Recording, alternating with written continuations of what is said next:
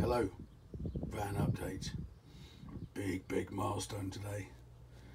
Okay, those of you that uh, don't know about vans, on the other side of this wall is an inlet to the water tank. That goes underneath there, that hose fills the tank up underneath. Then it gets sucked up by this black pipe through a pump, through an accumulator, through a series of valves, and then in underneath. And underneath there it goes to the central heating boiler, which is up above it. And it also goes off to the toilet and under the floor.